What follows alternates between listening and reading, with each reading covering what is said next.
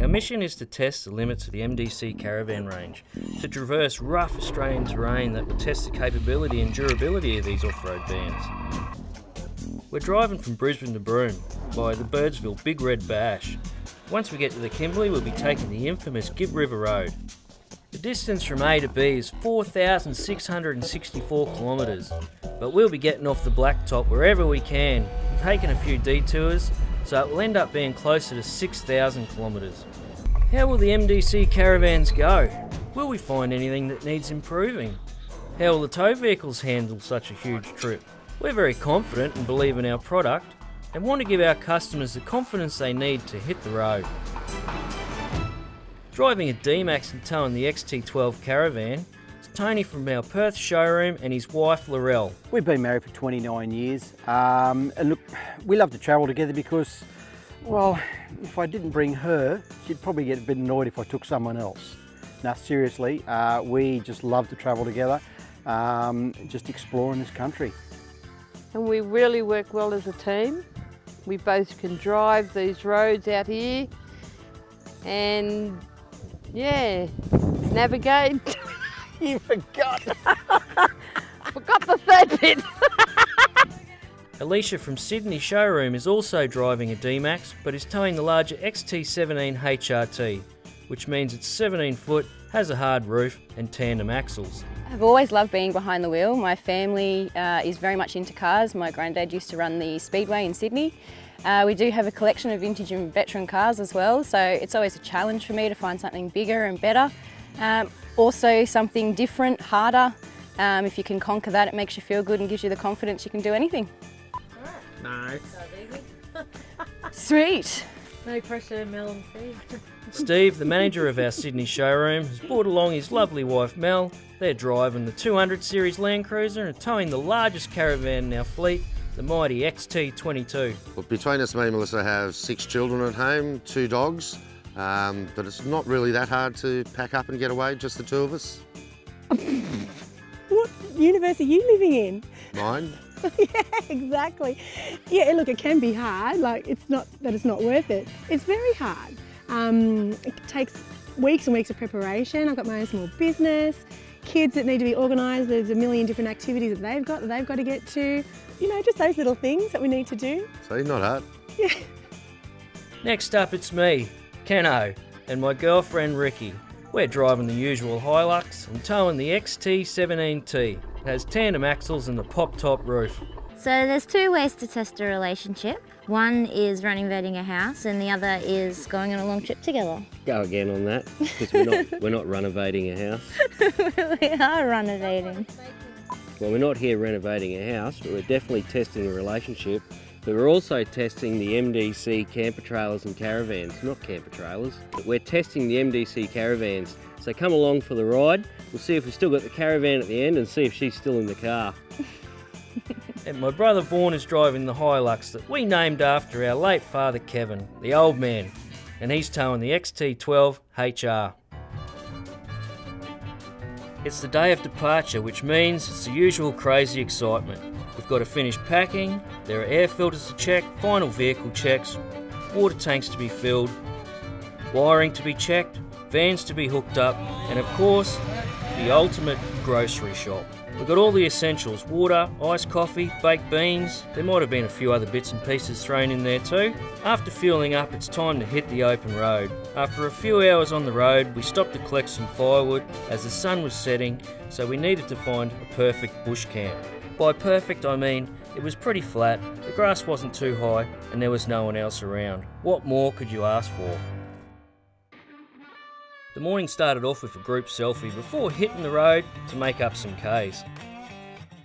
They've been copping a lot of rain out this way, and we were soon seeing the evidence. Too much water. Heaps of water. How good is it? Roads were closed, which meant taking a detour. But this meant a challenge for our mighty caravans. Challenge? Pff, more like a walk in the park. We got through unscathed, even Robbo towing the mighty XT22, which not only has a kitchen sink in it, but a washing machine as well. heading into Birdsville, probably about 250 k's out. Could be rain clouds, in knows? Bloody hope not. I know. The rest of the road was bitumen until way past Windora.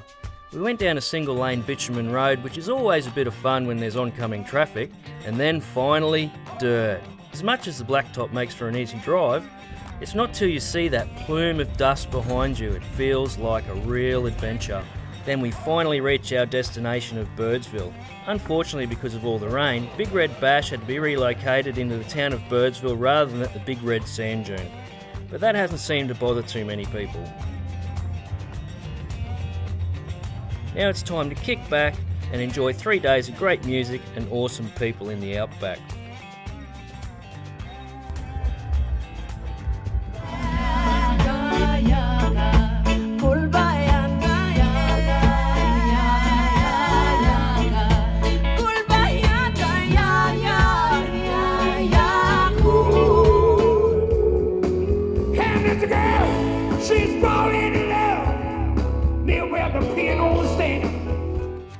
And testing the caravans, of course. So I thought I might try driving the XT12HR up Big Red. Well, no one's ever towed a caravan up to the top of Big Red before, so I thought I'd prove that an MDC could do it.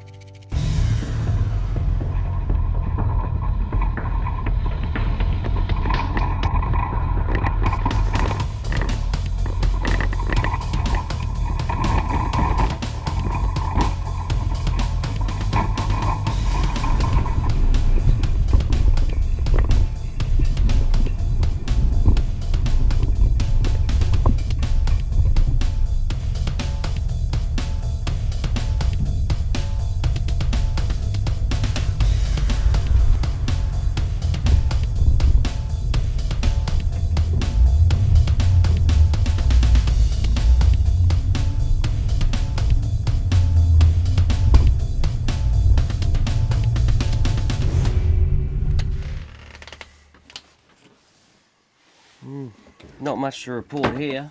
I knew she'd hold up.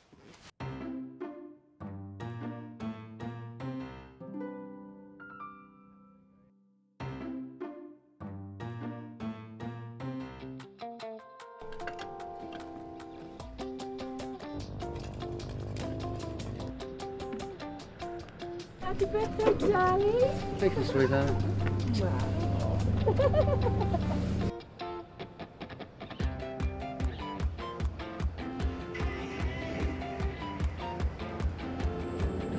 guys, how good was the Big Red Bash? Geez, not long out of town, you're straight back onto the dirt. Yeah, that's right, mate. Just uh, hang back a bit. Yeah, try and stay out of the dust and uh, keep your lights on, guys, so uh, the oncoming can see us. Did anyone have a favourite artist at the bash? Oh, I think they were all fantastic. Paul Kelly was good. Jimmy Barnes was awesome last night. Had a good dance to him. But um, my highlight for the for the Big Red Bash was just the people I met. Everyone was awesome. Um, I had some great chats with some interesting people. Certainly some characters come out to this big red bash, isn't there? They're all characters. Yes, they certainly come out of the woodwork, don't they? Well, guys, I've got a uh, a bit of a mission for us. I've got a long cut. Well, some people would call it a short cut, but it's probably going to end up being a long cut to Mount Isa. Cheeky little track. We're going to uh, get off the main road and and shoot into the bush and see where we end up. Because Brisbane to Broome isn't quite far enough, I thought I'd add a bit more distance to the mission. Sounds like another one off the bucket list from us from Perth. See a lot of floodway signs on the roads out in the middle of Australia, but this one wasn't joking. Whoa, guys, looks like we found an inland ocean. Good to hear, mate. I might be able to get some of the mud off the car from all the closed roads trying to get into Birdsville. That's a good stretch of water. Yeah, it looks like it goes for a while. I'll let you know if there's any holes and stuff like that. I know last time I was out here it had been washed away a little bit, so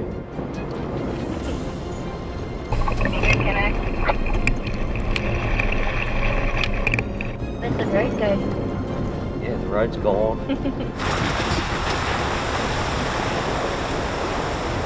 You might have to take it easy through that first little deep section there, Vaughnie. You've got um, car issues. Yeah, mate, I'll just go uh, relatively slow, little, as little splash as possible. Try and keep Kevin um, electrical systems at bay. Deep on the right hand side towards the middle. Uh, well, we've got to test out these seals on the vans anyway, don't we? Well, they've certainly stood up to the dust so far, so let's check the water out. Amazing, you know, all this water's still running, so it's probably, um, all this is probably still filtering out in the Lake Eyre, I'd say. How uncanny is this, guys? We're out here testing the caravans, dragging them from the east coast to the west coast, and I've got a 2010 Crusader in front of me, crossing a lake in the desert. Wow, that's just awesome, eh? It's um, fantastic to see our customers out in the middle of Australia using their trailers. Great to see. Exactly right, mate. And uh, this is why we do it. So we test them, put them through their paces, and that gives them the, the confidence to come out here and actually do it. So it's great to see. I just love it. Seagulls. How cool is that? It's amazing. Maybe yabbies in there. There's a pelican. See him over there? There's a pelican over there on the left as well. If you look in the bushes, there's a pelican. Oh, there's another one. His beak fits more than his belly can. Someone over there to the right. Here's me laughing about the pelican being the mascot for the Birdsville School. I told you to get pelicans out of here in the Do floods. you know that pelicans actually go inland to dams, to fresh water, um, for breeding and uh, to lay their eggs and have their young? That's why you don't see any baby pelicans on the coast. I did not know. Yeah, well, I'm just full of useful facts. I think where I am now is the actual creek crossing when it's not a lake. This is amazing. How you holding up with this leash? You uh, done a few water crossings in your time? Yeah, done a few, but nothing like this. This is just stunning and beautiful, and so so glad to be here. It's uh, definitely a long water crossing, isn't it? It is. It's excellent. I just love the view out the window. Yeah, you Sometimes you forget to drive because the um, the view is such a spectacle. Yes, I may have been guilty of that just before.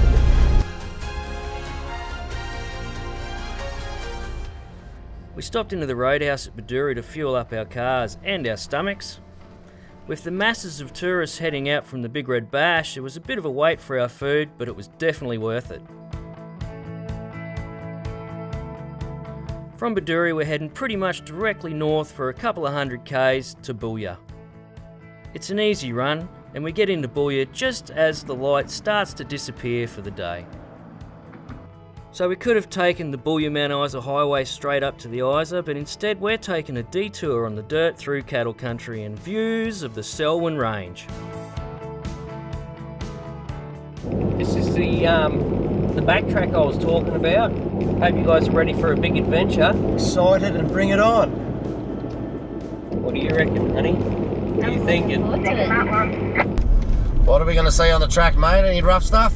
Yeah, mate. Who knows? They've had a bit of a wet season out here, which they don't usually get in the desert, so it might get a bit rough. Bit rough. We don't know what we're in for, but um, That's really code for I've never driven this track before and have no idea where it's going to take us or what it's going to be like, which is just the way I like it for the record. sun's dropping. I think we might have to look for a bush camp.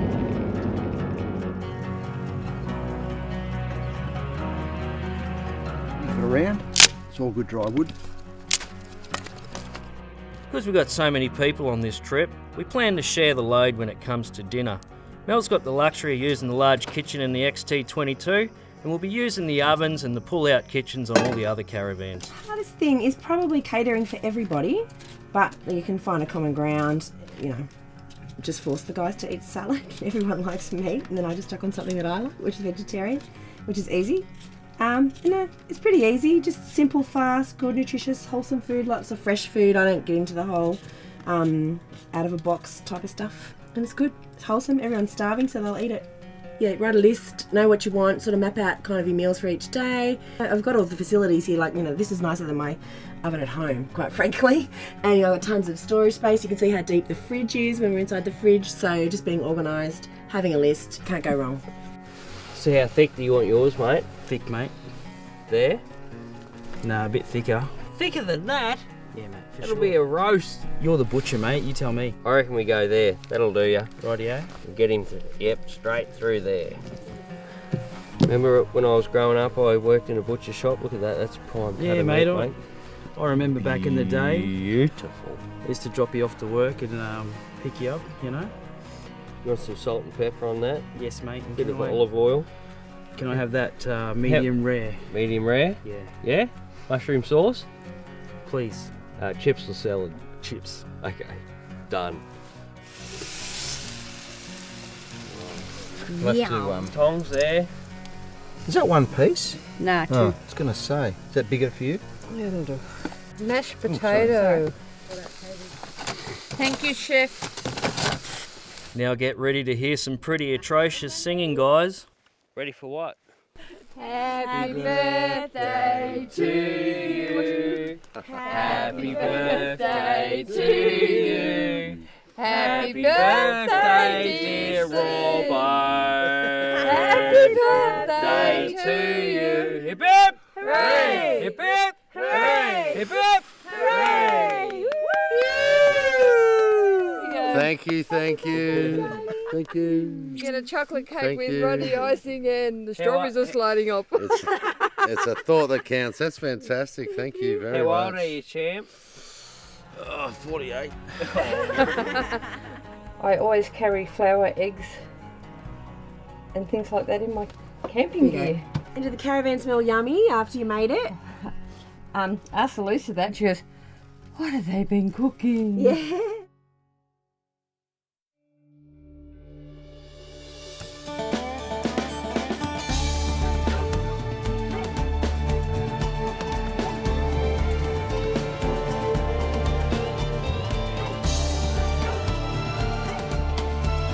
Well, I think we did a pretty good job finding an awesome place to camp after dark.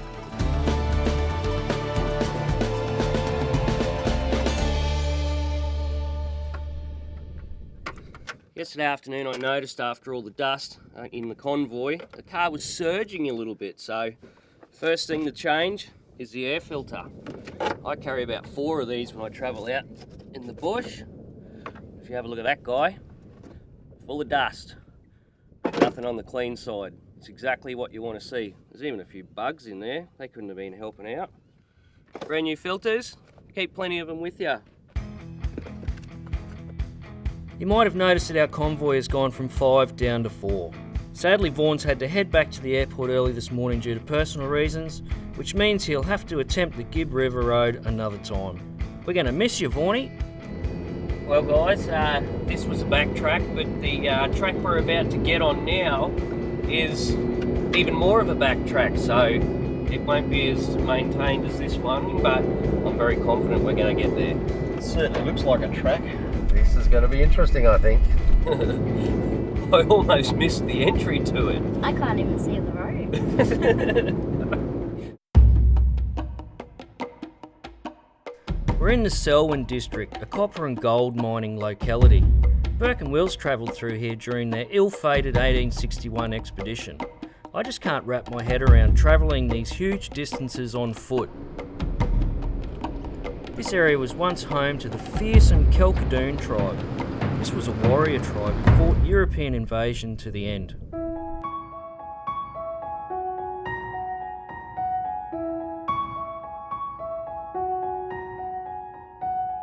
Sometimes it's nice to just stop and take in our surroundings. It gives you a chance to notice the details, listen to the fauna, and appreciate the beauty of the place that you are. In this case, the outback. Just make sure you wear long pants though, because the Spinifex takes no prisoners. One, two, three, whiskers. Sorry.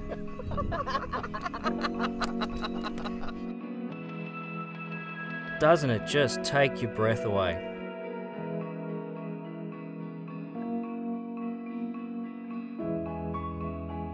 Nah, never nervous towing, no. I try and say it to people, it really doesn't matter whether it's a camper trailer or a caravan. They tow the exact same way. You've just got to allow for the length of what you're towing. I don't find weight a trying factor in it at all, whether it's a one ton camper or a two and a half ton caravan, because it's just sitting behind the vehicle. You've just got to be aware that it's there and allow on corners and so forth and braking.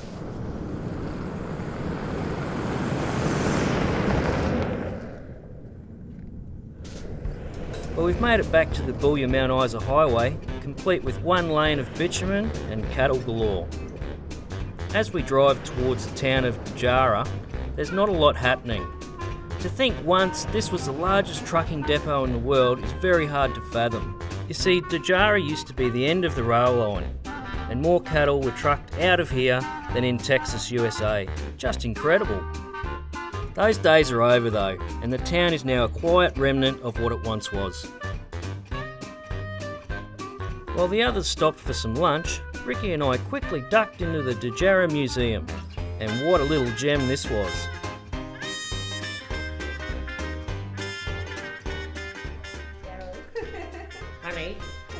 You remember what number Beryl was on? Oh, I think she's 58. All right, oh, then I'll just plug in there. Oh, 58, yeah. Beryl. So where are we heading to now, can I? We're off to the Isa, Mount Isa, mining capital of the world. Any of you guys been to Mount Isa before? I have. Yeah, I've been to Mount Isa many, many moons ago, so I'm keen to see how different it is, probably about 20 years ago. Yeah, right. I'd say the rocks have probably piled up a little bit, bit more since you were out there last. I haven't been out there, Kenno. It'll be a first for me. Looking forward to seeing it. Yeah, it's a little bit different. It's like a country town, but a little bit extra money, I suppose, than what you would be used to.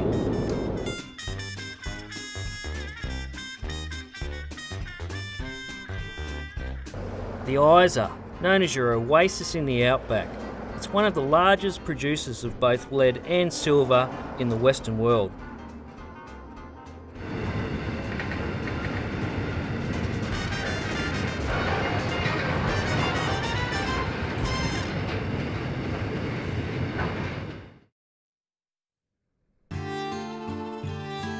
During World War II, the Mount Isa mines were a potential enemy target, and thousands of American soldiers were stationed here, camped on Soldiers Hill. Thankfully, they never came under attack. Whereas many remote mining towns decline or diminish completely within 70 years of their discovery, Mount Isa has developed ways to ensure their longevity. Alicia and Ricky have headed to the shops to top up on supplies and buy some shorts for the warmer weather. The rest of us are going to duck into the world famous Riversleigh Museum. Looking forward to this. Riversleigh is a World Heritage Area situated about 200 kilometres north of Mount Isa. It's 100 square kilometres of the richest fossil sites in Australia, with fossils that date back 25 million years. They've got plaster moulds where they make crocodile heads. There's a crocodile head right there. There's a crocodile head. And a snake skin. And a snake skin. And clean the bones. Looks like a horror film. Something out of The Hills Have Eyes.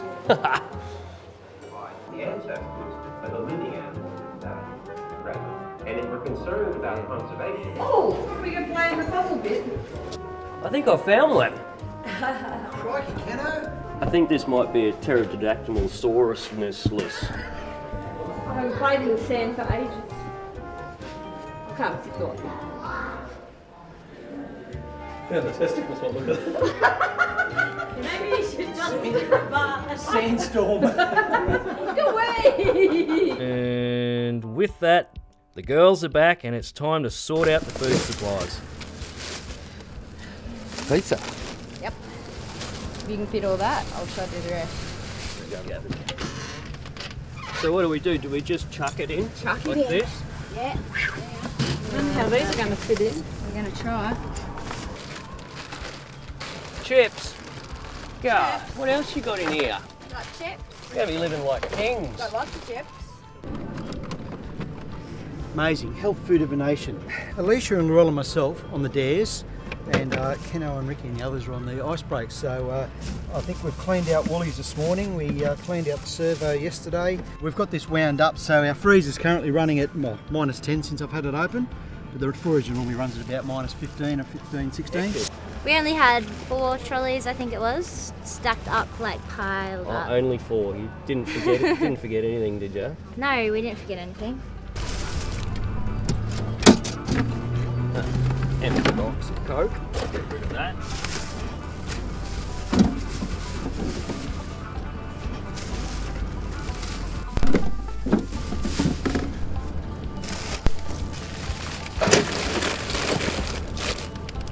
Lots of room. This is the goodies drawer. This has got all of the chocolates and cookies and everything in here. You We're heading further up north now where there's some water holes. It's going to be a lot warmer. The thongs and the shorts have come out. It's not going to be minus five degrees like it was in the desert. It's actually started heating up here in the Isa, so it's only going to get hotter as we head up. The girls have been out buying shorts for us because it's so damn hot. We're just debating whether they'll fit or not. My guess is not. My guess is not.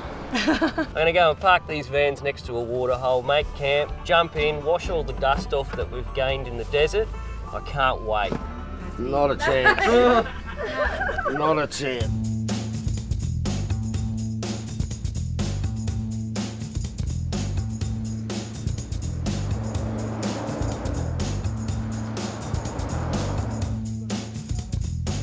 It's generally a good idea when you're on the road to get underneath, check your suspension, check your bolts every now and again. We've done a couple of thousand Ks now.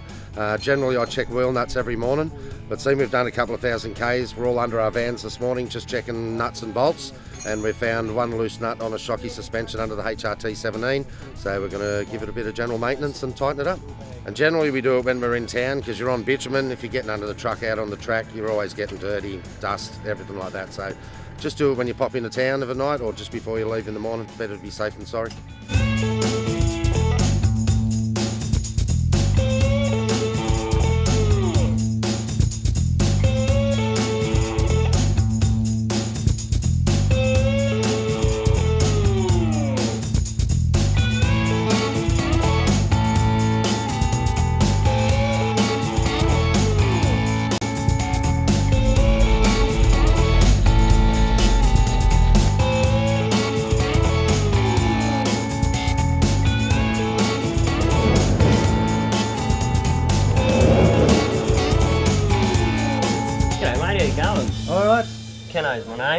Kim Braggleton. How are you? I was just talking to the lady in the bar and we were wondering about some road closures in the area. She said you'd be the man to ask because you've been around here for a while. Oh, well, I don't sort of know of any road closures here this time of the year, but So do you know if Rankin Road's open at all? The one just out of here? yeah, it'll be open. Oh, okay, because yeah, we looked at the website before we came out and they said it was shut, so I wouldn't take a lot of notice of websites, but anyhow, I don't know much about them. they said it was from water. Water, yeah, wouldn't be any When- water. Oh, well. When was the last time it rained here? Well, it probably rained about a month ago, or Oh. yeah, I'm not sort of. Can't see there being any water out there then now. Should be right, eh? Yeah, yeah. Good stuff. Hi guys, so we're heading out to a road called Rankin Road. I looked up the website and apparently it's closed, but I just had a chat to Kim at the pub there, and he's lived here for a million years, and um, apparently it's open, so I guess we've got to go up there and find out for ourselves. But we actually have a crossing to do before that, but it's not your normal kind of crossing. Does anyone know what I might be talking about? Order. Uh, would we, we be looking at a border crossing? A water crossing. Border crossing. Yes, into the Northern Territory. Certainly is. It's always a good feeling when you go past that big sign with the Northern Territory symbol on it, the, the Brolga flying towards the sun. So I'm pretty sure we'll be there in about 10 k's, if that. We've got 100, 100 odd k's before we turn onto that Rankin Road that I was talking about.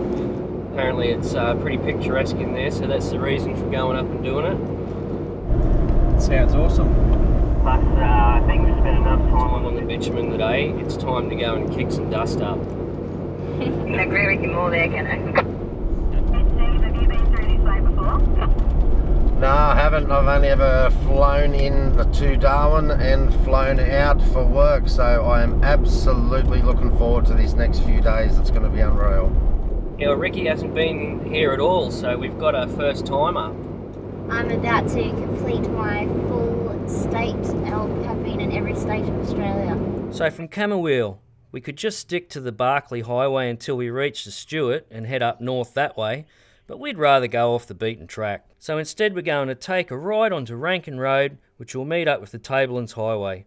and then eventually turn left on the Carpentaria Highway, which will bring us out near Daly Waters. That's the plan anyway. I guess we'll just see what happens.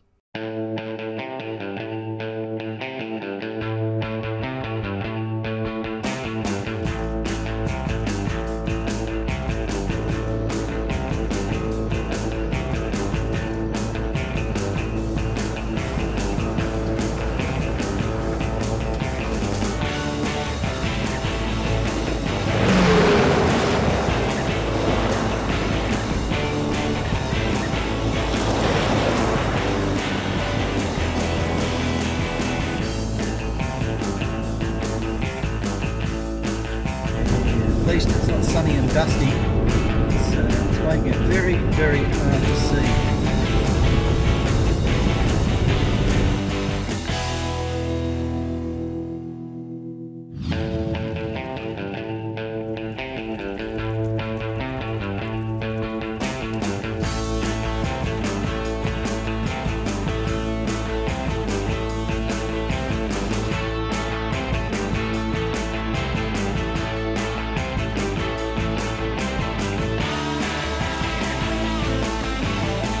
So we drove the heavily corrugated, dusty road directly into the sun until we couldn't drive anymore. Well, at least until we ran out of daylight, that was. And then we looked for a camp.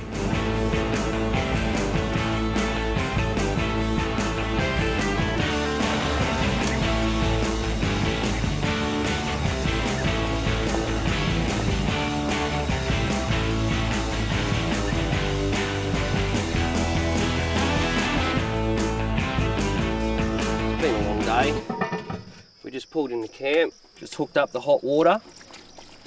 Ah, it's still warm from last night. How good is that? That's nice on the hands after a day of driving and mucking around in the dust. Good thing is the road wasn't shut. We got through. There wasn't water over the road. So, well, so far, we've got probably 150 k's to go of it, but I think any of the creek crossings that we've seen so far, there's not enough water there that's going to cause us any dramas anywhere else down the track. So we'll be able to make it to where we're going, which is good because I hate doubling back. That's my that's my pet hate. I like to be able to get from A to B and not have to turn around, go back to A, and start again. Who said they had the hot dogs? Here's bread rolls. I think there's some more up in there too. They're the ones Vaughn got Oh, okay. ages ago. All right. Yeah, no, we didn't buy them. Yeah, no. Okay. Yeah, no. I'll I'll I'll um file them there because they're not the right rolls. Someone's got strong. Should be able to boil this up, fit a few franks in here, I reckon. We've got mini hot dogs. We're going to cook up some bacon, some onion. We're going to have cheese, mustard, all the sauces, double sauce, of course. And they're going to be the hot dogs from hell. I reckon I could do about six. Could be a challenge. Robbo will double out on me though. I've got nothing on Robbo. Look at that. Beautiful. Don't really look at it. Are we eating out of that? As you can see, this this is a big caravan, but I've got a big husband. So he's six foot two and a very large, uh, large man. And a lot of guys his size have trouble fitting into any kind of caravan or camper trailer. So this particular caravan is so spacious for him. We both fit in here really easily. Don't have to like move around each other and maneuver. It's just luxury all the way. So probably the biggest thing we've noticed about when we get into camp as opposed to any other type of camping that I've done is the sheer luxury and convenience of when we arrive. We literally just get out of the car, open up, unlock the caravan, come through the front door, maybe sweep off the step and we're in. So if it's a late night, we can just jump straight into bed or we can make ourselves a drink, sit down, have a relax, think about what we're going to have for dinner. It's easy. It's it's super easy and that is um, something I've never really experienced before and really highly recommend. What do you reckon, guys? Bush hot dogs go down all right, don't they? Absolutely. well, you know, you done well. Great Thank you. salad too, mate. Mustard, double sauce, Mm. bread. Great salad, Ricky. Frank's best. Yeah, thanks. It was a good meal. See, we meal. pulled in late True. and it got prepared really quick. Yeah, we didn't muck around. We No. set the van up, pulled the kitchen out, started chopping, cutting. You did well. cooking. Salad jam. Set up your Half an massive hour. I'm the salad queen. What's that white stuff in there? Is it going off? No, it's feta. Oh, feta. is that another? Is that a, is that a fancy word for mould? No, No. it's cheese, but it's tr- Steve's trying to uh, get. He's going to get a bit fitter while he's away. We are in the bush, you know. It's about the same colour as our legs. Yeah, we'll call you feta legs tomorrow. Get back in your car, feta legs.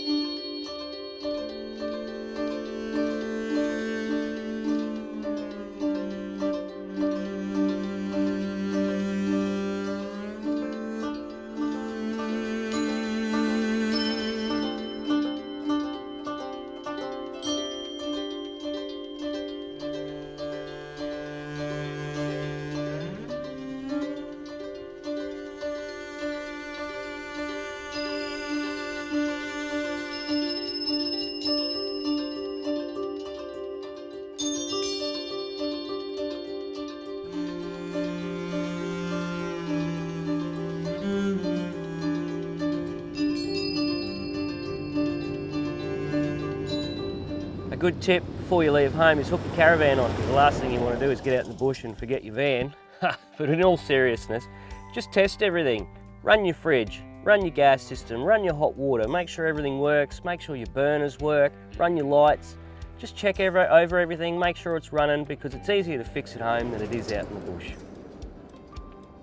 Okay, my biggest tip for towing is to make sure that your load for both your towing vehicle and your caravan is evenly distributed to the extent where you don't have too much towards the back of the van, where too much weight in the back of the van will cause it to sway and possibly lose control.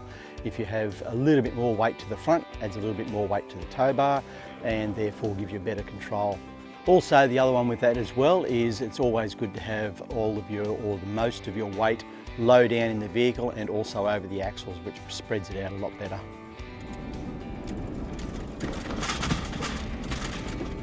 Watch the grid. Watching the grid. I'm loving it here, babe. This is just so beautiful. it is absolutely stunning, isn't it? Are you a convert yet? Oh, I love it, always have. I just can't get over how flat it is from horizon to horizon. I know, I know. And barren, not a thing in sight. I don't reckon we've seen a tree in about, I don't know, how many kilometres? 20? Oh no, more than that. I'd say 40 to 60. And I love the healthiness of the cows at the moment. They are looking beautiful. All the baby cows. I know you love your cows, darling. Big droopy, sad eyes. They're beautiful.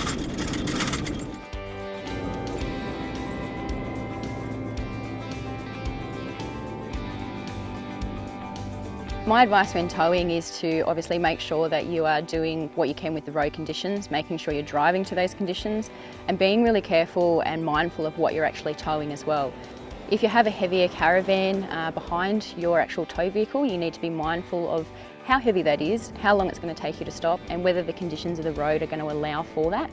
Um, be mindful of everything around you. Your speed is a massive, massive factor. Um, obviously something heavier, you need to slow down a little bit and make sure that you're safe on those roads. When towing, the most important thing to me, and I've said this before, is checking your equipment daily. That's tyre pressures, wheel nuts, suspension bolts, everything, especially when you're on corrugations. Uh, it can really work things and shake things loose. So the important thing to me is check your equipment daily, twice daily if you can.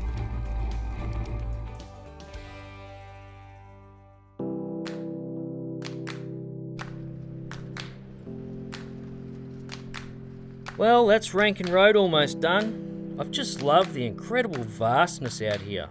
And I've loved the fact that we've seen no one else bar a few station vehicles. It's hard to explain why seeing not a lot is so remarkable. But maybe it's one of those things that you just have to experience for yourself to understand. And I kind of like it that way. And now we're onto the Tablelands Highway, which will follow all the way up to Cape Crawford. But the D-Maxes don't have long-range tanks in them, so we'll have to find somewhere safe to pull over and top them up.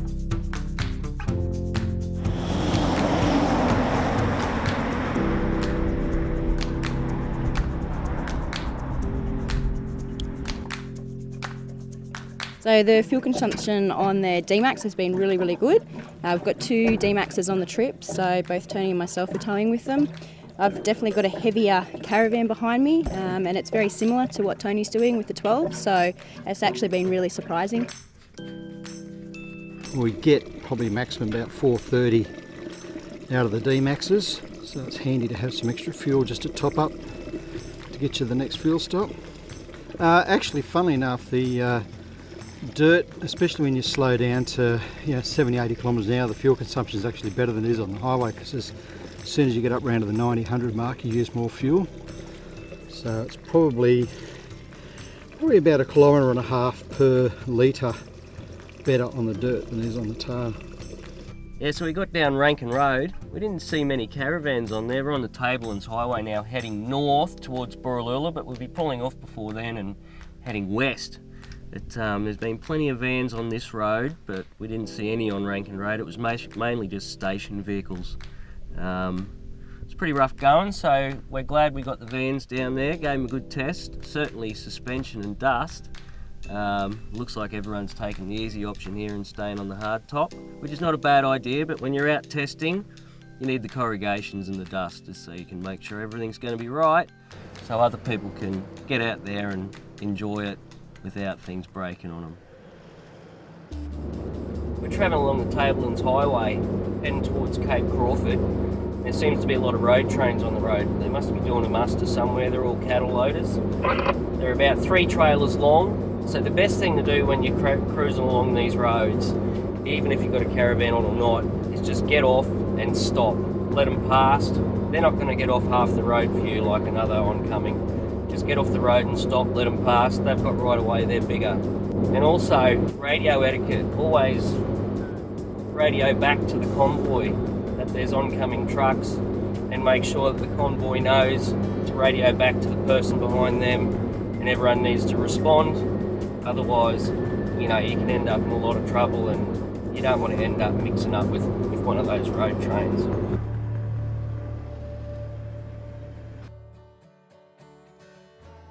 We finally made it to Cape Crawford where we could fill up on fuel, water, and most importantly, ice cream. From here, our plan is to try and make it to Daly Waters to make camp for the night.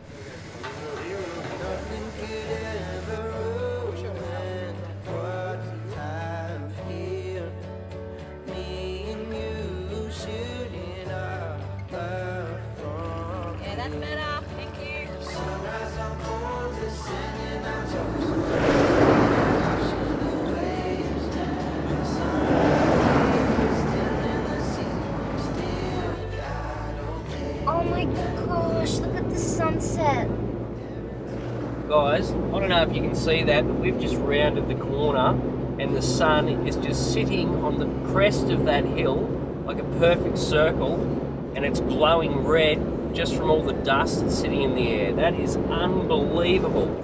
Seriously, in all the travels we've done, I've never seen a sunset so red. It's absolutely spectacular. That's just stunning, guys. You don't get that anywhere but up here. Me and Melissa were just discussing how romantic it is, and I asked her if she could Google romance. What does that mean? Anyone would think it was your anniversary or something. You can't have a can't have a birthday and an anniversary in the same week, Robbo. You're not going to get that lucky, mate. I can't believe how beautiful that is. No. It's amazing. Yeah, it's not often you can stare straight at the sun. Usually you need a welding mask, but um, there's just enough stuff in the sky there to allow us to do it. It's certainly a spectacle.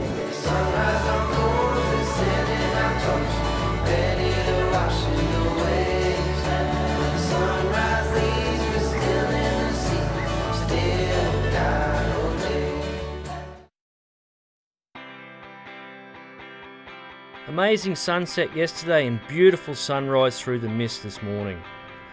We've left nice and early because today we plan to get a lot of Ks under the belt. We're headed up north to Mataranka, then we'll continue to Katherine and then southwest to Timber Creek. That's 560 kilometres, so I think we'll have a good chance. Mataranka is a community with a population of around 400 people. We grabbed some toasted sandwiches from the roadhouse for brekkie and then headed down the road to visit the old homestead where the author of We of the Never Never lived with her husband. Beautiful. I've never seen anything like this. Not quite like this. Jeannie Gunn was the first white woman to settle in the area, but unfortunately she only stayed a year as her husband died of malarial dysentery. All handmade furniture out of old timber. It's pretty sweet. Don't think the bed springs would suit us, honey. The homestead is right near the entrance of the famous Mataranka thermal pools. Man, was I hanging out for this. It was time to wash the dust off. The pool pumps out an incredible 30.5 megalitres of water a day. That water is also said to have healing effects on aches and pains. It feels amazing, especially after spending so much time on the tracks. How good is this? It's amazing. It's not as natural as it would have used to have been, but it's still beautiful. They've done an excellent job. I just can't believe how clear the water is. Yeah, it's beautiful. It's so good to wash the dust off. Excellent. An oasis. It feels a little bit heavier, I think, than normal water. Oh you yes. feel as lightweight in it. That might be all the donuts you've been eating. Could be, possibly.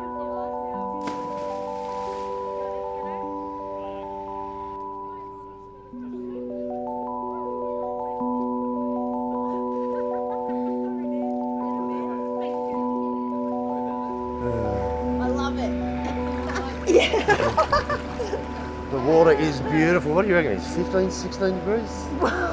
what? More than that? 20. 20 degrees? 28?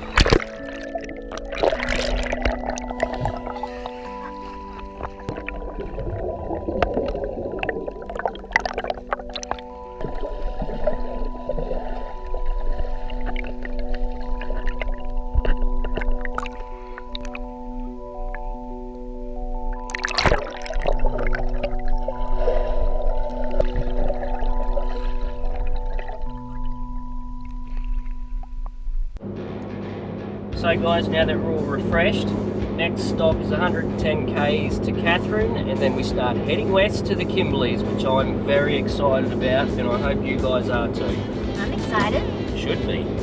Kimberleys.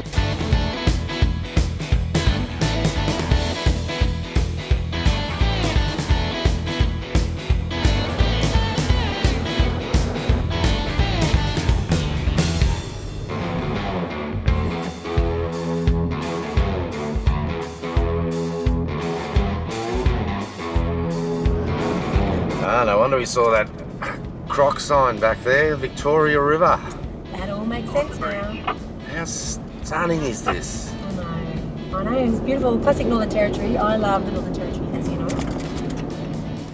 Well, first time here for me, babe. That's why I'm loving it. Wow, that's awesome. It's beautiful. This light. seriously. Oh my god. Look at that. Look at the escarpment. Crocs in that river for sure. Seriously, I don't know which way to look left or right.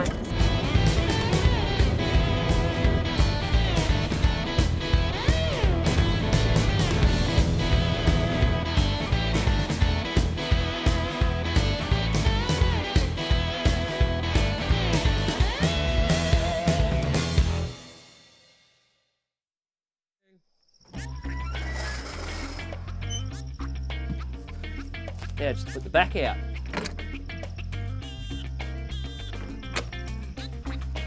This is where the double bed folds out with the pillow top. I don't care what anyone tells you, you cannot fill the join in the pillow top mattress. It is comfortable as. Best sleep you'll ever have. Oh, hello in there. What's for dinner? Lamb burgers, you beauty. Time to set up the caravan and kitchen so we can get stuck in into dinner.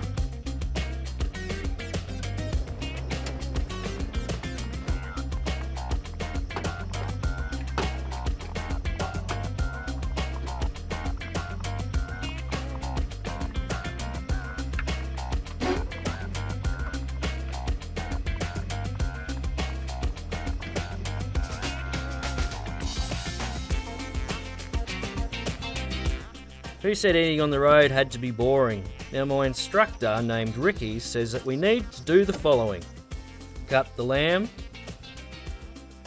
grate some carrot, with a very fancy grater, I might add, chop up some capsicum, chop up a couple of onions, and then start the fry up. It's empty. Chuck in some soy sauce for flavour and lots of garlic. And then finally, add some delicious gravy. I'm going to chuck the buns on the sizzler barbie to lightly toast them and then for the construction.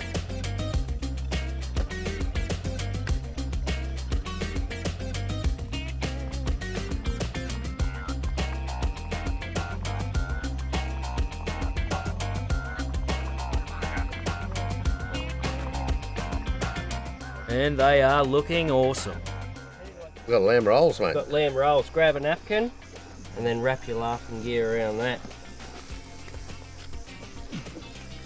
Mmm. Hello. That's sensational. And healthy. Healthy, oh well, yes, kind of. It's Clo- healthy. close enough to healthy. That is Lamb. sensational. That's fantastic. Yep. Did Ricky help? Ricky might have gave me a little helping hand. I think she um Did he really? she peeled the carrots for me or something like that. You should take a fishing, mate. You might catch one. Well, I doubt it.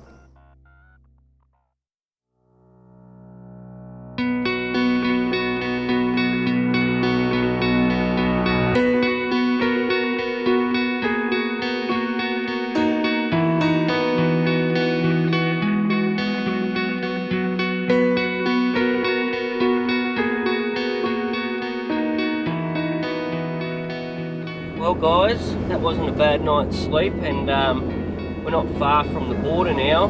Then we'll be hitting Kununurra. The good news is, then we'll be starting the Gibb River track into the Kimberley. We get a lot of people asking about the Gibb River Road, and I can't wait to be able to share the experience uh, with some of those customers. It's going to be my first time going down there and your first time going through the Kimberley, and I, I just cannot wait. I'm loving this scenery already. Just look around you. The scenery's unreal. It's there's all rock shells. It almost looks like high tide lines to me. So when this was an inland ocean, may may have been. But our next stop is the border, where we've got the uh, potato police, the popo, we like to call them. So we'll be getting pulled up there, and they'll be going through our stuff, looking for our spuds. WA has strict quarantine laws about what can be brought across their borders. They have a large agricultural economy to protect. Hey mate. Am I following you or Keno? I'd say follow Keno, he just waved me over here. If you're probably coming behind me, I'd imagine. Hi. Hey mate, how you doing? Oh, I'm good. I've got some potatoes in the van. I've got to get you. Uh, you want to have a look? Does it look different, WA? Not yet. We haven't got there yet. I've We're 10 metres oh, away. shivers, okay. I've never been to WA. I'm so excited. Seriously. Well, never at all. Never ever. At all. Been to WA? No, Fair never, dinkum. never.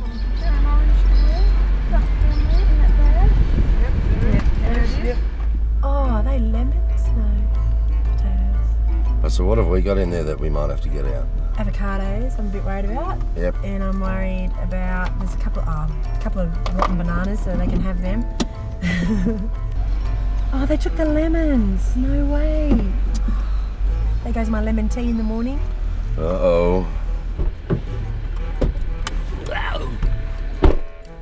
Ah, potatoes are gone. Hope Kununurra's got a good fruit store. Ah, moving over here to dispose of the firewood we have in the back because of the bark on it. Alright, everybody, if everyone can just radio through to me what got taken, and I can write a shopping list of what we need to replace. Yeah, roger that. Uh, we lost one orange and the firewood. Yeah, Rick, I lost uh, the firewood also, uh, the lemons, capsicums, onions, and three bags of potatoes. Copy that. We lost all the carrots, tomatoes, lettuce, apples, rock melon. Avocados. And that's about it, I think. He said I could keep my carrots. And my wife's depressed. Well, with uh, Steve getting his lettuce taken and me not, and you guys having carrots, we might have a chance at a salad. Sounds like it. Some lettuce don't let me keep other lettuce, so it must just be certain lettuce. She said you can keep that lettuce, but that lettuce has got to go. That's like racism, but lettuceism. Very funny, Keno.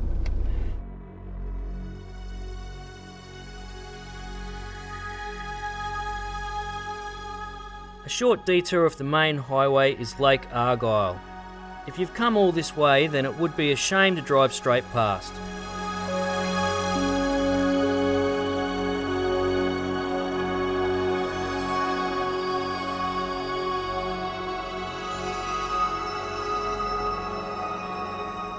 The lake was filled in 1974 and holds a whopping 10.7 million megalitres of water.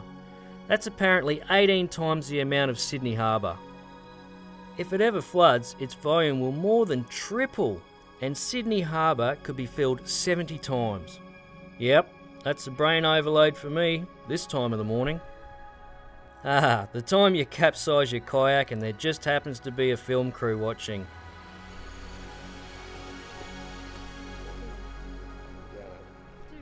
So we're at Lake Argyle now, guys. Now this is the doorstep of the Gibb River. We've got not far to go now, but I was just looking through the book doing a bit of research while we were taking photos. And it actually says the Gibb River Road and its detours are not recommended for or suitable for caravans. So what do you think about that? You feel confident? That's throwing down a challenge for us. Well, yeah, it is throwing down a challenge. Like I think that that's just their opinion. Mhm. I think we've been building these things long enough now and strong enough now to uh, to be quite confident that we can tackle the Gibb River. Steve's just got the light job of a 22 foot caravan along the Gibb River Road. I got the big gun. But our engineers, you know, put all this to the test um, on the computers first, and we get to go out and do the proper tests to make sure they are unbreakable. Well, anyone who knows me knows I'm always up for a challenge. We're so close to the iconic track, the Gibb River Road, and my excitement is starting to peak.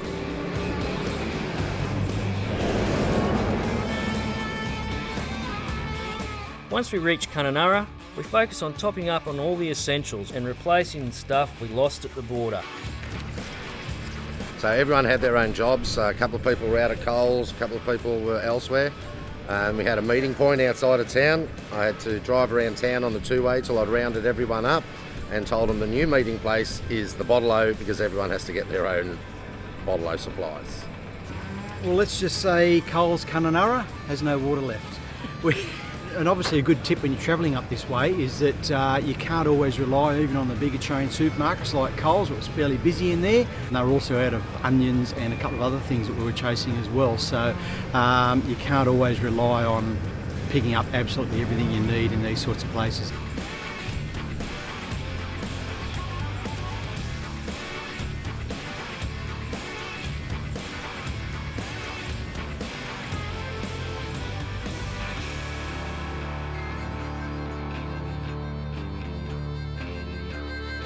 So this is it, the Gibb River Road, and we're ready for the challenge.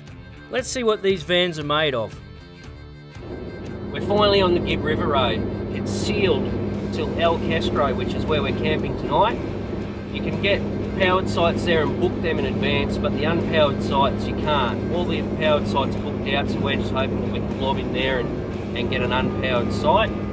Um, you've noticed that Ricky's in the back here. She's a bit crook. Got a bag cabana out of the hot box at the servo, but she's still got her seatbelt on. Um, it's the first time on Gibb River Road for me and a lot of the other people on the trip. We're going to put these vans through the ultimate test. I've already done 4,492 kilometres, uh, and the Gibb River Road to Broome is our last obstacle. First stop, El Questro Wilderness Park. This is a 700,000 acre property, which is huge, and a popular stop for tourists doing the track. I'm towing probably a bit over three tonnes behind me. I've got the D-Max, which is obviously a, great car to be towing with. It's really, really impressed me. But at the end of the day, my van weighs more than my car. And you have to be very, very careful with your road conditions. You have to be very mindful of how much is behind you. Um, obviously, if you, you pull up too quick or whatnot, head down a hill the wrong way, use your brakes the wrong way, you're going to end up with the van actually pushing your car along. So what the guys are doing is actually radioing through. um, I've got Tony in front of me, so Keno sort of will let us know what's coming up. Then Tony will let me know what's coming up. Um, and Tony will kind of give me a speed that I should hit it at. More so because he's got the 12 behind him. Um, I've got a lot more weight behind me, so that way he can say he hit it at say 40 k's, and I know I need to be probably another 10 k's underneath that um, for me to sort of be, be driving safe on the road, and so that this van doesn't actually push me through some of these floodways, potholes, um, ruts, corrugations even. Um, so we've got a bit of a, a system that's all in line. Good thing you got your seatbelt on. We're about to hit a water crossing, I think. Pentecost River. Ah! sharp right hand turn and water crossing, guys. Right, sharp right hand corner and uh, water crossing. Oh, and it is beautiful in here. There's uh, plenty of traction on the bottom. It's all sort of pebbly, I suppose. That looks like a rainforest. Gear,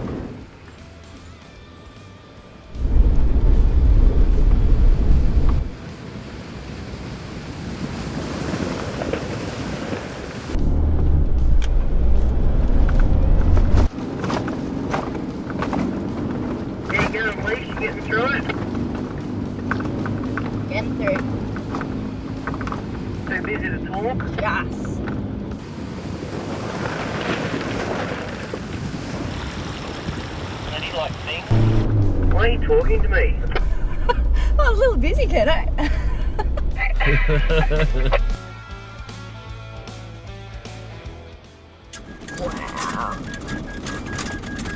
is cool.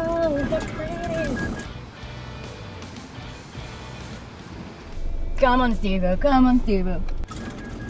Taking it slow and easy. I think I've got a caravan on the back and I think it's about 22 feet long with a six foot drawbar.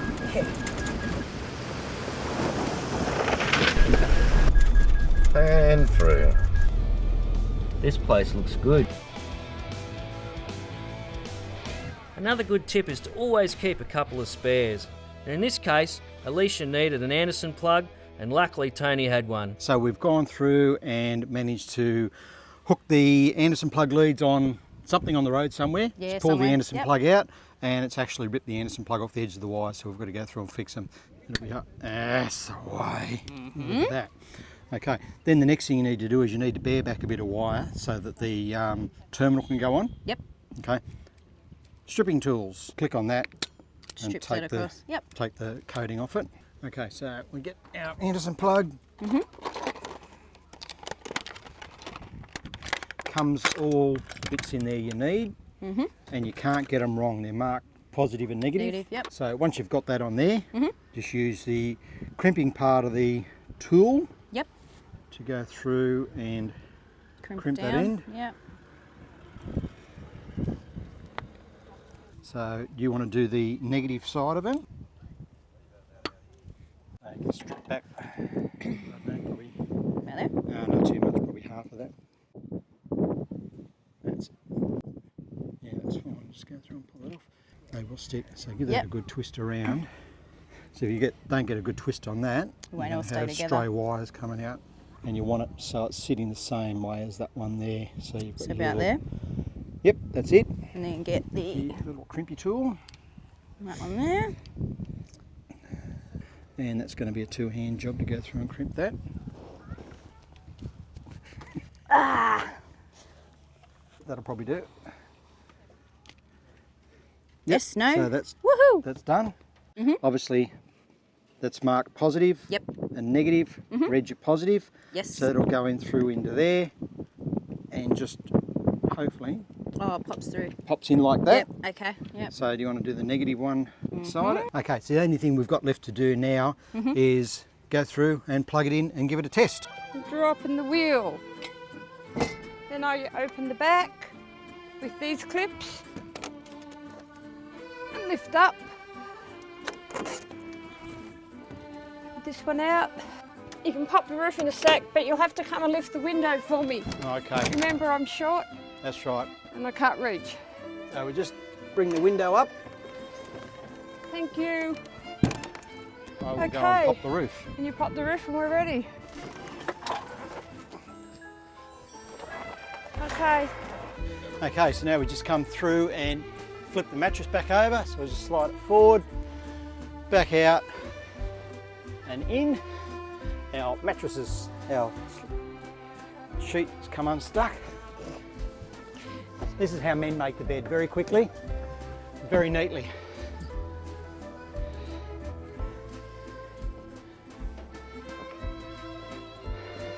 And the bed's made. And the bed's made.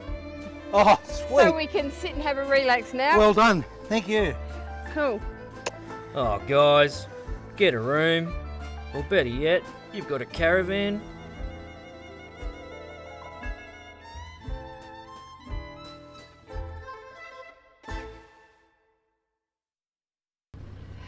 So we came into camp last night. Now we need to unhitch because we're going to go to El Questro Gorge.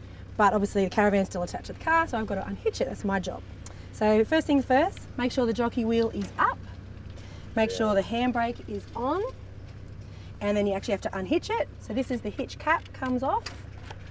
And then you just push down this button and push that in. That disengages. And then you start pulling these plugs out.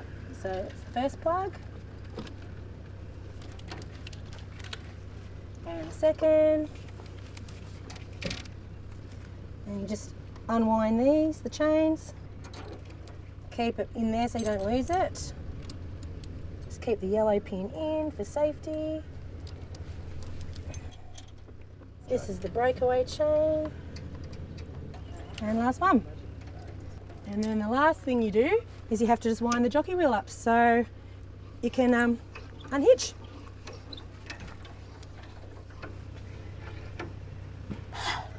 And that's it. We're going to have a little look around El Questro while we're here. It's best to unhook the vans because there's not a lot of room to turn around in the car parks. Got a bit of a water crossing here, guys. I'd say there might be some water in the El Questro Gorge, hopefully, when we get there. Oh, look at that. Great looking water crossing, and uh, yeah, hopefully we uh, nice up there. Apparently, it's about two and a half k round trip. Um, I'm not sure what kind of terrain we're going to be in for, but apparently it's a very nice once you get to the waterhole. I'm looking forward to a nice swim, actually. Me too. I need to um, wash myself. Everyone in my car keeps complaining how smelly I am. Oh yes. Even Wolfie can't handle your smell, honey. You guys looking forward to it? Yeah, it should be really good. Keen bushwalkers? I've heard it's beautiful there. Really? Oh yes. I'm not a big bushwalker, but if there's a waterhole at the end I can dive in, I'm a happy camper. Yeah, it's normally pretty cold and fresh. Should be good. Oh, let's get into it.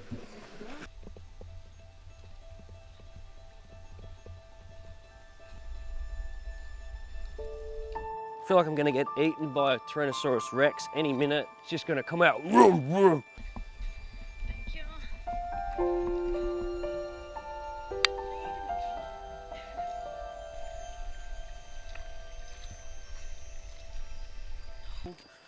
I love walking. Oh, here's a difficult creek crossing straight up. I'd put a foot there, one there, and then just one there. It was quite good.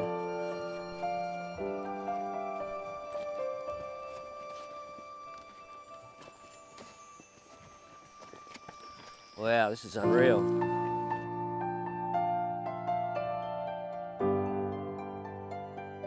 I think it's magnificent.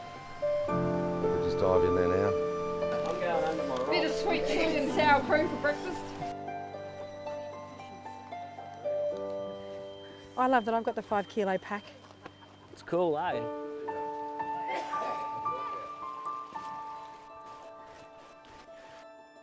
You still got two? Wow, guys, I think we've made it. Look how clear that is. oh my god, look at this. Never Whoa. seen anything like this before. That is amazing.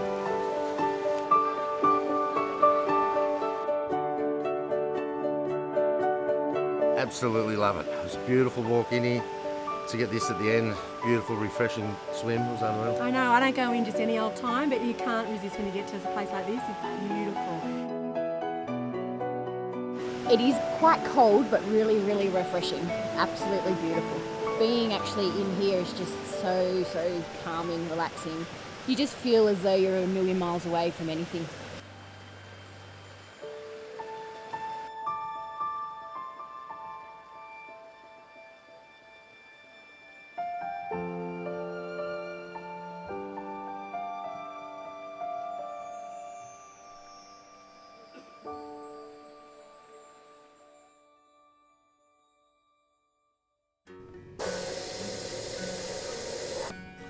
About to hit the Gibb River Road and it's notorious for corrugations.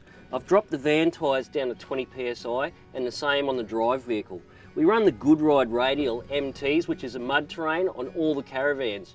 We've decided to put these on the drive vehicles in the D-Maxes just to test them out. Further stress test on the drive vehicle. Alicia's done 4,500 Ks from Brisbane. Tony's done 7,500 Ks already. He's in the D-Max with the Goodride MT radials on it and he hasn't had a problem. We've never had any bad reports about these tyres and that's the reason we put them on the drive vehicle.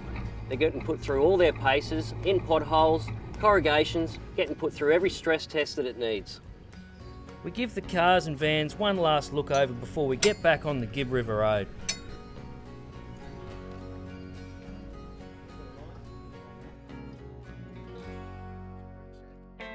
Didn't take long before we understood what people meant about the corrugations.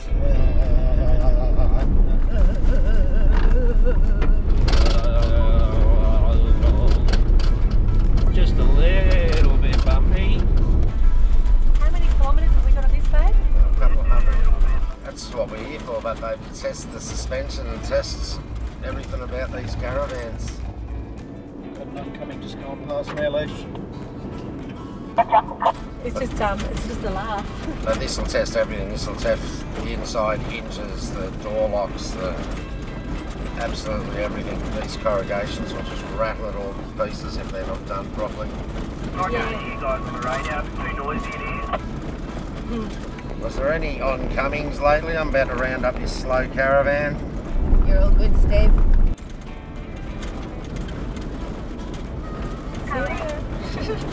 what are we doing? We're doing 60. 60. He was doing about 40.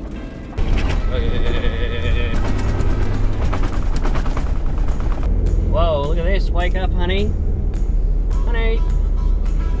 We're at the Pentecost River. That's a. Bit of a puddle, isn't it?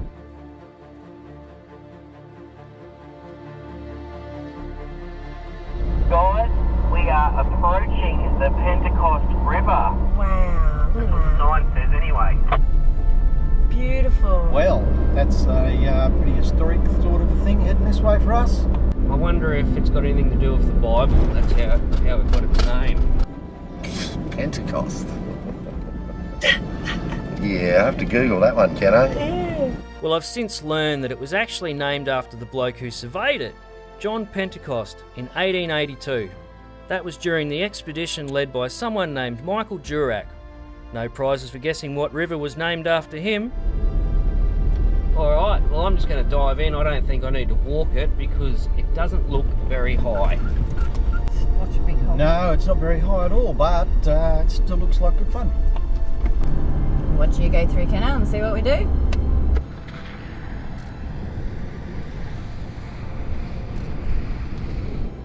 Yeah, guys, plenty of traction on the bottom. It's all rocky and rolly, but yeah, plenty of traction.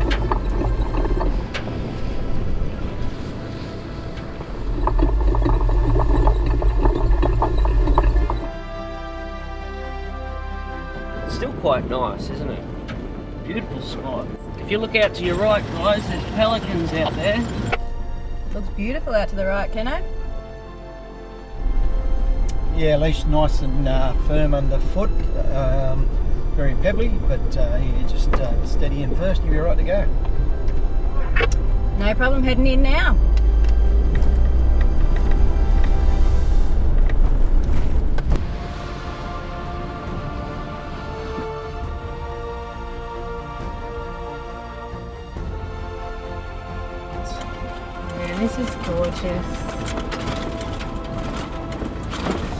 Look at this.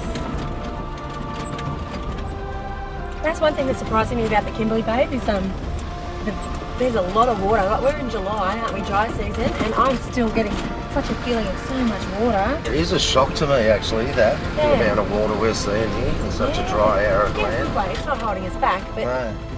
so much bird life. It's just beautiful. And that's the Pentecost River done. Great work, team.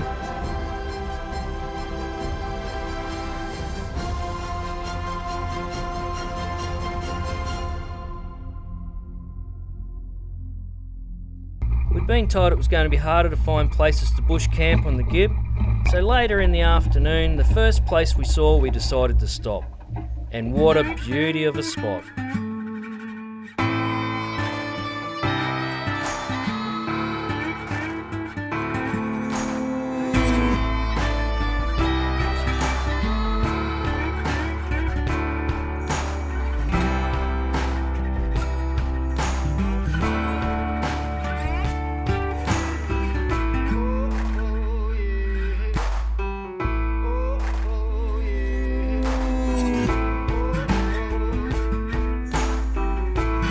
Got the fire going and prepared for another night under the stars.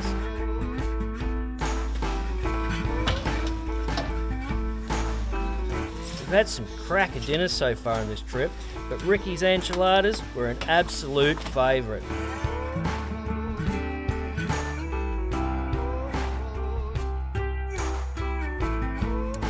With the spirits high and the bellies full, hit the hay, ready to continue our journey along the Gibb tomorrow.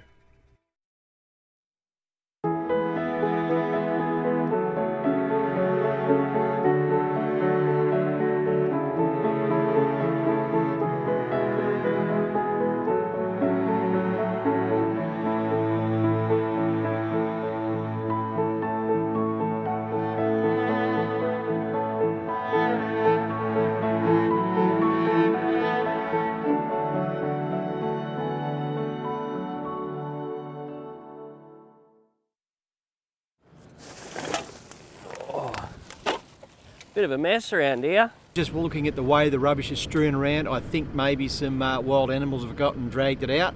Uh, we can see where it's been dragged in through the bushes, so I certainly think that, uh, yeah, potentially some wild animals have dragged it out. You would hope that people aren't uh, that bad that they wouldn't put their rubbish in the container. Wow, this looks a bit interesting, guys. I'd slow up here. I can't actually see what's going on, but it drops away quite quickly. Yeah, roger that, uh, slowing right down. Uh, the sign did say it was a Durack River, so Yeah, we're going through the river. It looks like the left-hand side's going to be the best way. It's uh, all pebbly on the right. roger that. Beautiful looking river though, up the left there just looks fantastic. Might have to go for a swim. There's plenty of water on the left there, isn't there? That's right. Little billabong. Nice to pop out and have a swim. If you game, there uh, could be some lizards in there, big lizards. It's Beautiful. Look at that. That's what I'm finding and loving about this. Just things just pop up. It's just little things like that that pop up, beautiful little billabongs that just pop up out of nowhere. Exactly.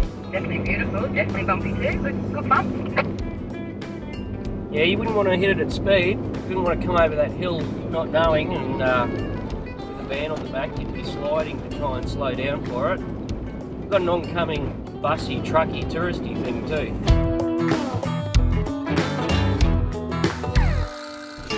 Get it,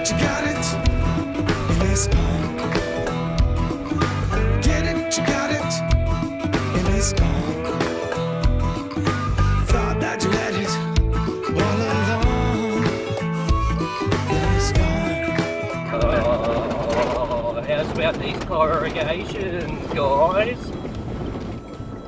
Sorry, mate, I couldn't hear you properly. The corrugations were bucking everything up. In this red, it's got the words corros.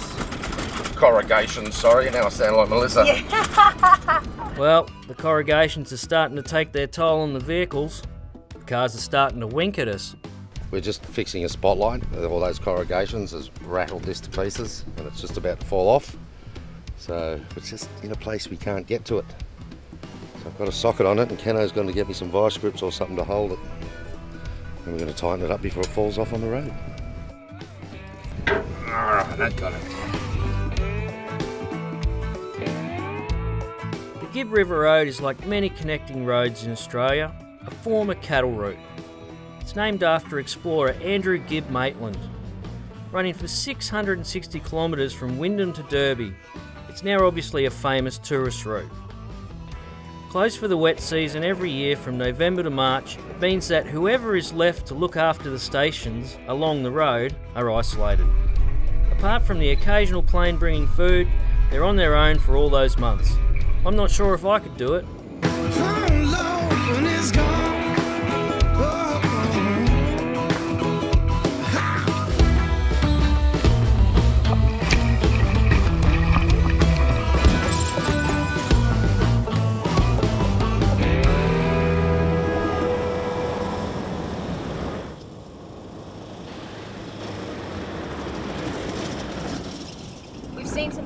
Caravans come past, um, obviously different models, all the rest of it. We've seen quite a lot of different things out here. Um, a lot of those, unfortunately, though, they're sort of sitting around 40 to 50k mark. Um, not really enough for them to sort of get up on top of the corrugations. But um, obviously, you know, if you don't have an off-road van, you've also got to protect that. Um, whereas these vans, they're, they're made for this stuff. The suspension's made for it, the van's made for it, the materials that we use, everything is off-road. It's what we specialise in, it's what we do. This is what we're good at. This is what we live for. We're all four-wheel drivers. We all love the bush. We all love camping. A lot of us have come from swags into these beautiful, beautiful caravans. Don't know how we're going to go back to the swags. I think we're all converted. But these vans have just allowed us to see the country in a completely different way to anything I've ever been able to do before. You've got that little bit of luxury there, the hot shower. Oh, amazing.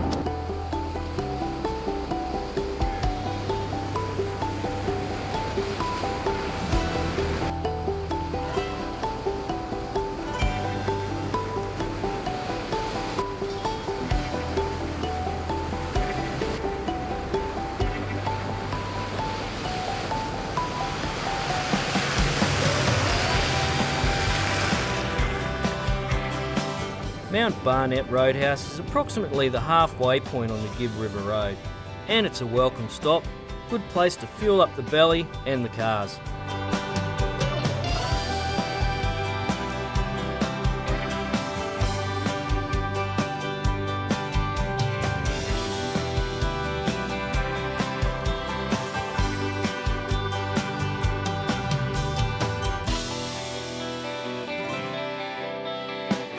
Day done. I'm going to sleep well tonight.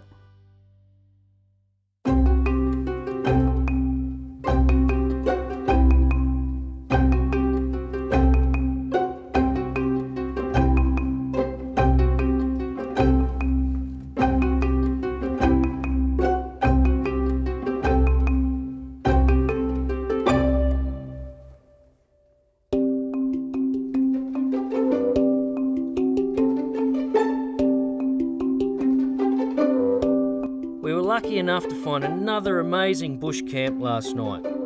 This is just such a beautiful spot, away from the road and surrounded by beautiful boab trees. Alicia, Ricky, and myself decided to go for a drive to see the nearby Adcock Gorge. Gonna get the van through here, honey? Yeah. Of course, I get it everywhere.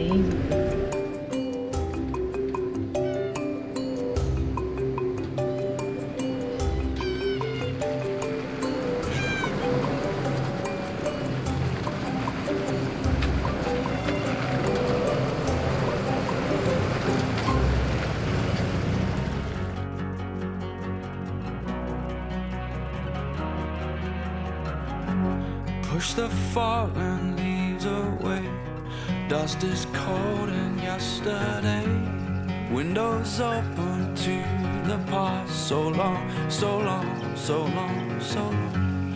Lose all In loving memory of my dad, who loved fishing and caravanning oh, and exploring in his caravan, just like us. Your son, Peter. His dad was a keen caravaner, just like us. Buried deep amongst the pain. Should have seen the light of day. Catch the highwayman of mine. How was that, Goopy? Did you have fun? I can't believe there's a pink bear in my car. Purple, whatever it is. It's the feminine side. Brother, brother, don't be afraid. Cause it's nature's way. Oh, and it's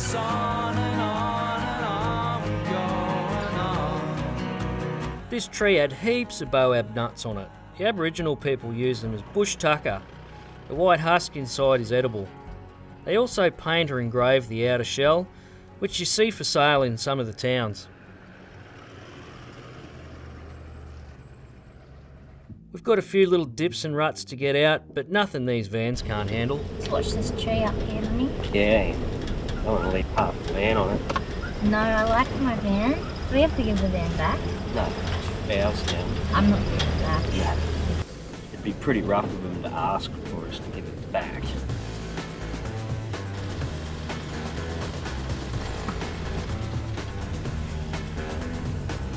What? Oh, the dip.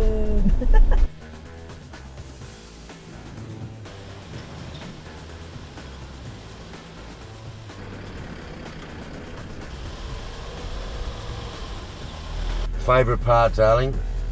Bush camping. Bush camping. Hasn't it been great? Bush camping, fires at night, stargazing, moonlight, all those romantic things. Well, we've been romantic.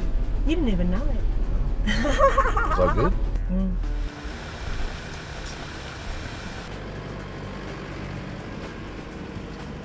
It's going to be an interesting little step up for this big fella. I know, you can do it, babe. You got it, babe. Clearing that tree, which I've cleared. What about this one? Oh, that there is there. Do you want me to look or you right? No, I'm right. Here we go.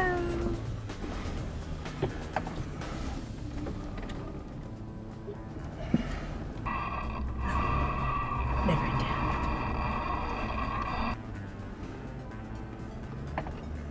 So you haven't had any dramas towing this big thing, have you? No. No, it's good. Do you reckon you have to be experienced to drive it, to tow it? I think as long as you can tow, I don't think, see a difference between a camper trailer, a boat, anything. Just a caravan. You've gotta be sensible, don't you? You've Just just got to be aware that it's there. Yeah. And yeah, And act accordingly, and have a good vehicle that can handle it. exactly.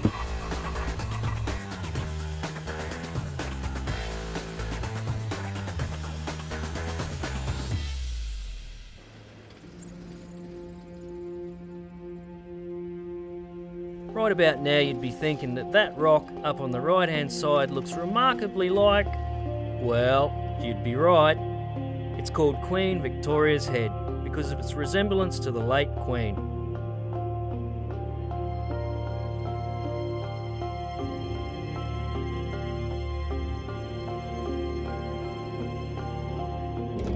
Wow, guys, we just come down that hill and have a look at the colours on these cliffs.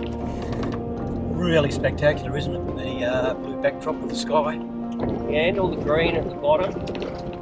It's just absolutely stunning. Feel very small though next to them. Yeah, I've never seen anything like it. It's absolutely amazing. Oh wow, it even gets better as we come around the corner. This road is sort of hugging around the bend of the actual cliff. Yeah, you start to go from the uh, the red ochre colour in the rocks almost through to a uh, grey clay colour as well. And it just keeps going. I think you're right. The colours are just sensational. Yeah, it just makes you feel insignificant. We're on the last stretch now. It's incredible to think how far we've come and the country we've seen along the way. And it's time to air the tyres back up. I have to say, I'm not going to miss those corrugations, and you know, when you've spent a couple of weeks on them, it feels great to get back on the hardtop.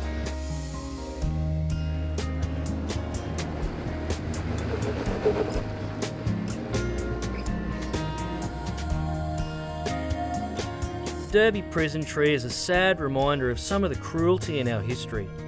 In the 1890s, it was used as a lockup for Indigenous prisoners on their way to Derby for sentencing. Unfortunately, this was a fairly common practice up in these parts. Back on the road and just over 200 kilometres to our final destination. Yoo-hoo! So guys, we just got off the dirt coming out of the Gibb River Road. We made it on the dirt. Such a fun drive that last little part there. It was awesome. The whole track is just amazing. Can't wait to tell some of the uh, clients I've got back home about it. Can't wait to tell family and friends about it as well. Awesome, awesome track. Um, you know, if you get a chance, definitely do it, guys. Go out and uh, give it a crack.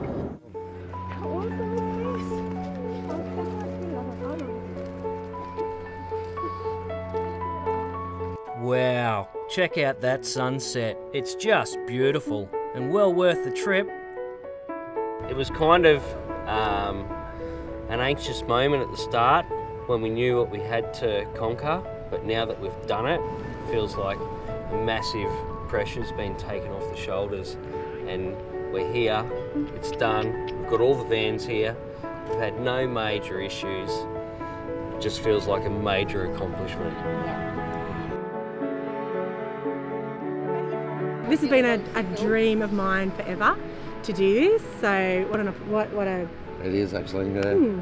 Unreal to finish the Gibb River Road. It he did so well. It was um, everything I thought it would be, scenery wise, difficulty wise. Um, really happy with that. Really happy with the way the vans performed. Uh, but to get here now and sort of all the adrenaline just flows out of you, I think Melissa's right. It's pina coladas in the clubhouse. Let's finish it I'd off. love to see you with a pina colada. I'll have one. All right. They got cool. rum in them, don't they? Yes. There you go, done. Look, it's really awesome. It's um, it was a, it was a great drive. It was a great team effort and a lot of camaraderie. Um, but it's really really nice to be back here and see one of our sunsets back in WA again. The road was so much different coming east to west, but it was just as enjoyable. But it's good to be here and actually see the sun drop into the water. This trip has meant uh, so much to me on a personal level, but even more so, it's been trying to encourage more women to get behind the wheel and do the stuff that we've done. Um, it's not hard, but it can be a daunting thing in the beginning. Um, we've just done it. I've just been behind the wheel all the way from, from Brisbane to here, um, and I just hope that more women can pick up uh, where we sort of left off, take the trip that we took, tow some vans, tow whatever it is that they've got, and just get out and enjoy this country.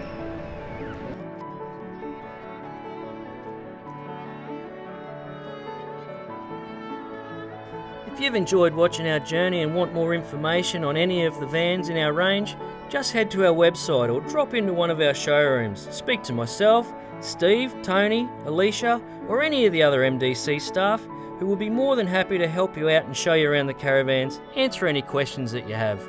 I look forward to seeing you then.